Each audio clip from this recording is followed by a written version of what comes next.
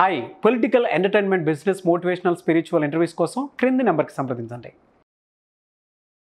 నమస్కారం అండి. నమస్కారం అమ్మా. కేదార్నాథ్ శర్మ గారు చాలా మందికి ఏంటంటే చాలా రకాల ఇంట్రెస్ట్లు ఉంటుంటాయి. ఇంట్లో చాలా అందంగా ఉంటాలను లేకపోతే ఒక్కొక్క హాబీస్ లాగాను చాలా రకాల చిత్రపటాలు తీసుకొచ్చి పెడుతూ ఉంటారు. అంటే ఎలాంటి చిత్రపటాలు ఉండకూడదు ఇంట్లో? అంటే వాటి వల్ల ఏమైనా ఇబ్బందులు వచ్చే అవకాశాలు ఉంటాయా? వీటి గురించి ముందు ఒక వివరాలన్నీ తెలియజేస్తారా? తప్పకుండా శుక్లాం వరదరం విష్ణుం శశివర్ణం చతుర్భుజం ప్రసన్నవదనం ధ్యాయే సర్వ విఘ్నోపశాంతయే. నాకు జన్మనిచ్చినటువంటి మా తల్లిదండ్రులకు గణపతి దేవుడికి మా గురువర్యులకు మా వీడియోలను ఆదరిస్తున్నటువంటి వీక్షకులకు అందరికీ కూడా వినయపూర్వక నమస్కారములు. మీరు చాలా చక్కటి ప్రశ్న అడిగారమ్మా. ఈ రోజుల్లో ఎట్లా అంటే కొన్ని లక్షలు కోట్లు ఖర్చు పెట్టేసి ఇల్లు కట్టేస్తున్నారు. అవునండి. కట్టుకున్న తర్వాత దాన్ని అందంగా ఉంచడం కొరకని చెప్పేసి అని ఫోటోలు.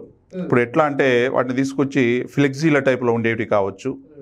లేకపోతే ఆర్ట్స్ కావచ్చు చేతితోటి వేసినవి అని కావచ్చు పెయింటింగ్స్. పెయింటింగ్స్ అలాంటివన్నీ తీసుకొచ్చి పెట్టేసుకుంటున్నారు.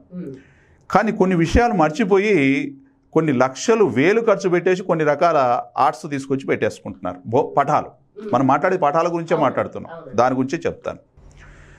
ఇక్కడ మనం ఏం చేస్తున్నామంటే ఆ పటాలను అనవసరమైన పటాలను కూడా కొన్ని పెట్టేసుకుంటున్నాం ఇంట్లో. ఏంటండి ఎట్లా? ఇక్కడ మనం మాట్లాడితే ఆధ్యాత్మికంగాను ఆలోచించాలి సైకలాజికల్గాను ఆలోచించాలి.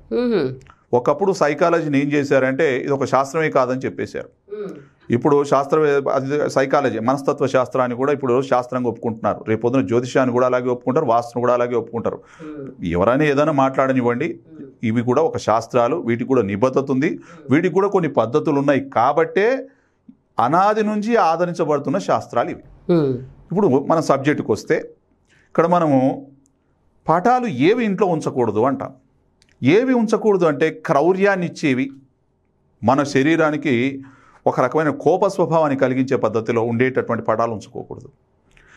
తర్వాత మనకు ఒక టెన్షన్ ఒక ఒత్తిడి మన మీద ఒత్తిడి మానసిక ఒత్తిడిని తెచ్చేటటువంటి పటాలు కూడా కొందరు తెచ్చిపెట్టుకుంటారు. అంటే క్రౌర్యం అన్నారు కదండి. అంటే అది ఎటువంటి పటాలు ఎటువంటి పటాలను తీసుకొస్తే అంటే ఇక్కడ ఒకటి బాగా గమనించండి. బీభత్సం నుంచి కూడా క్రౌర్యం వస్తుంది ఒక్కోసారి. ఎట్లా? ఒక పులి ఉంది. ఆ పులి జింకను వేటాడి తినేస్తుంది. అలాంటి అలాంటి పటం ఎట్లా ఉంటుంది అది. చూడ్డానికి పెద్దగా పులి ఏమో చాలా అదిగా ఉంటుంది.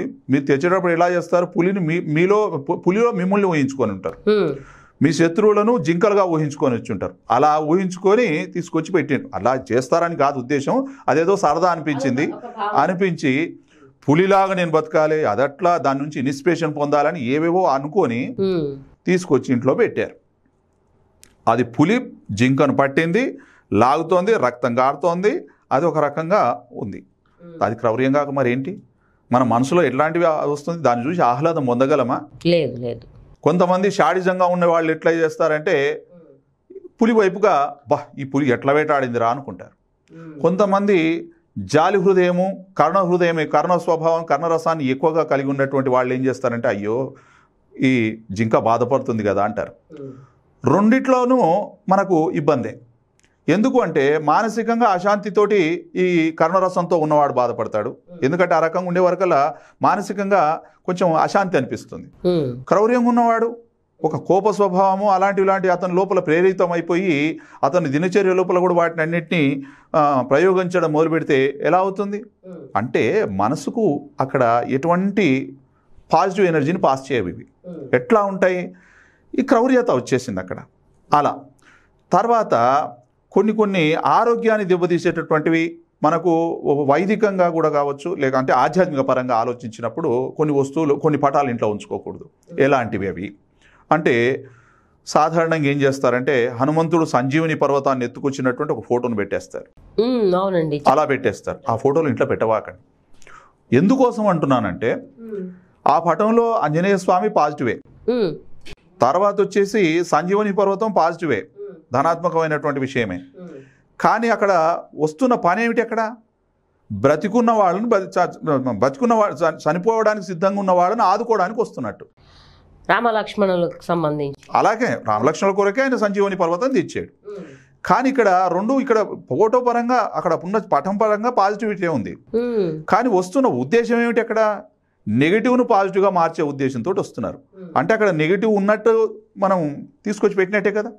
అంటే అంటే అర్థం చేసుకోవడం ఏమిటి అంటే ఆ ఇంట్లో ఉండేటటువంటి వాళ్ళకు మనము వైద్యం వైద్య ఎవరు అనుకుంటారండి? డాక్టర్ల దగ్గరికి ఎప్పుడు పోవాలని అనారోగ్యంతో బాధపడాలని ఎవరు అనుకుంటారు? అనా ఆరోగ్యంతో వర్ధిల్లాలి అనుకున్నప్పుడు ఈ సంజీవని పర్వతం తెస్తున్న ఆంజనేయ స్వామిని తేవాల్సిన పటాన్ని పెట్టకూడదు.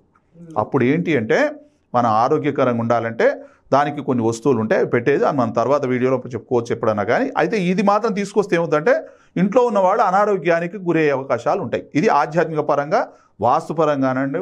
ఆమ్, తర్వాత ఇక మనం ఏ రకంగా చూసినా కానీ ఇటువంటి విషయాల లోపల మాత్రం మనకు అట్లా సంజీవని పర్వతం తెచ్చే వస్తువు పటం తెచ్చిపెట్టకూడదు తెలియదు.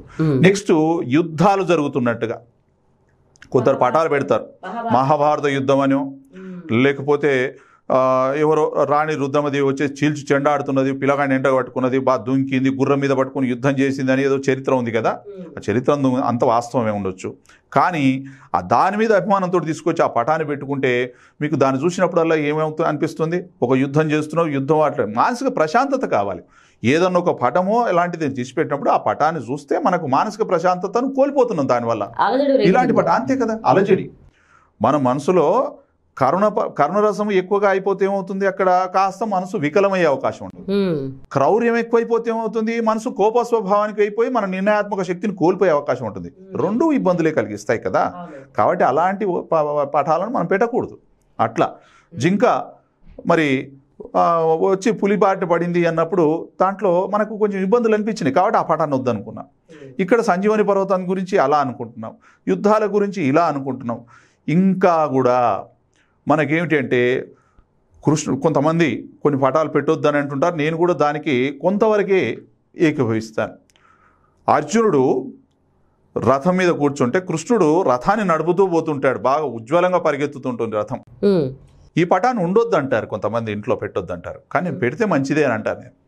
దానివల్ల నీకు కొన్ని ఉంటాయి. అయితే ఇది సగం సగంగా ఉంది కాబట్టి ఇక్కడ మనం ఏం చెప్తున్నామంటే ఈ పటాన్ని కూడా కొంతమంది వద్దు అంటారు కానీ మరి దాని విషయం లోపల మనము నేను చెప్ప సూక్ష్మంగా ఒక మాట చెప్తాను. దానివల్ల మీకు పాజిటివ్ ఎనర్జీ వస్తుంది కాబట్టి వద్దనే వాళ్ళకు ఈ పటాన్ని ఉమ్, ఉంచుకోమని చెప్తున్నాను నేను. అది సంగతి. తర్వాత మీకు ఆహ్లాదాన్ని కలిగించేటటువంటి విషయాలకు వ్యతిరేకంగా ఉన్న ఏ పటాన్ని వద్దు అంటున్నాను. ఫ్లెక్సీ రూపంలో కావచ్చు. తర్వాత వచ్చేసి మీకు పటాలు ఆర్ట్ పెయింట్సే కావచ్చు. ఏవైనా కూడా అలాంటివి పెట్టవాకండి. మనసుకు వికారమయ్యేటటువంటివి. మనసు ప్రశాంతతను కోరుకోవాలి కానీ ప్రశాంతతను భంగం చేస్తే ఆ పటం వల్ల ఉపయోగం ఏముంది మనకు? ఇంకొక సందేహం అండి. ఇప్పుడు పటాలంటే గుర్తుకొచ్చింది. ఇప్పుడు సామాజికంగా చెప్పారు సైకలాజికల్గా చెప్పారు మైథలాజికల్గా చెప్తూ వచ్చారు. అయితే మన తల్లిదండ్రులు లేకపోతే పెద్దలు వారికి సంబంధించిన వారు అంటే వారు గతించిన వారికి సంబంధించిన ఫోటోలు కూడా ఏమైనా పెట్టుకోవచ్చా? పెట్టుకోకూడదా? పెట్టుకోవాలి. వాళ్ళు పితృదేవతలు జ్యోతిశాస్త్ర ప్రకారంగా మన శా మన మన ధర్మశాస్త్ర ప్రకారంగా వాళ్ళ పటాలు మాత్రం పెట్టుకోవాలి. అయితే కొన్ని చోట్లలో పెట్టకూడదు కొన్ని చోట్లలో పెట్టాలి. అది ఉంటుంది అన్నట్టు. ఇక్కడ ఏమిటి అంటే పితృదేవతల పటాలను తీసుకెళ్ళి మనం దేవతా మందిరం లోపల దేవుడి పూజ దగ్గర పెట్టుకోవడం అనేటటువంటిది కొంతమంది తప్పని చెప్తున్నారు. అయితే ఇక్కడ నేను కూడా ఏం చెప్తున్నానంటే మీరు దేవుడి పటాలకు నిత్య పూజ చేస్తున్నారు కదా. వీళ్ళు మీ పితృదేవతలు కాబట్టి వాళ్ళకు కూడా మీరు పూజ చేయడం లోపల వేరే మీకు ఎటువంటి అభ్యంతరం లేకపోతే పెట్టుకోండి పూజా మందిరంలో కూడా. కానీ పూజా మందిరంలో కంటే ప్రధానమైనటువంటి మీ ఇల్లు ఏదైతే ఉందో దాని హాల్ ఏదైతే ఉందో ఆ హాల్లో మీ యొక్క పితృదేవతలు మరణించిన వాళ్ళు మీకు వంశానికి సంబంధించి మరణించిన వాళ్ళ పటాలు తీయేసేయమని ఏ ఎవరు చెప్పకూడదు. వాటిని ఉంచుకోవాలి పెట్టాల్సిందే. చాలా మంచి విషయాలు తెలియజేశారండి. అంటే ప్రతి ఒక్కరికి ఇంటికి రాగానే బయట ఉన్న టెన్షన్స్ అన్నీ పోయి ప్రశాంతత అనేది ఇంట్లో ఆ వాతావరణం అనేది ఉండాలి అన్నట్లుగా. అంటే మీరు చెప్పినట్లుగా ఇటు ఆ దేవుని పటాల్లో కానీ లేకపోతే సైకాలజీ పరంగా కానీ క్రోధంగా కానీ ఇట్లా కాదు. మనశ్శాంతిగా ఉండాలి ప్రశాంతంగా ఉండాలి అనేది మీరు చెప్తున్నారు. అంటే అలాంటి పటాలనే ఉండొద్దు. అందుకే కదా చివరి మజిలీ అతని ఇల్లు. ఇల్లు ఇంట్లో ఆహ్లాదాన్ని పంచేటటువంటి పటాలే ఉండాలి. తాత్కాలికంగా మనకు ఉద్రేగాన్ని పెంచగలిగి తాత్కాలికంగా కాస్త ఏదో నువ్వు జీవితంలో ఇట్లా కర్ణరసాత్మకంగా ఉండు అనే ప్రబోధం ఇవ్వగలిగినటువంటి పటాలు అవి ఎప్పుడు పూర్తి స్థాయిలో మనకు న్యాయం చేయవమ్మా. చాలా మంచి విషయాలు తెలియజేశారండి. Thank you thank you so much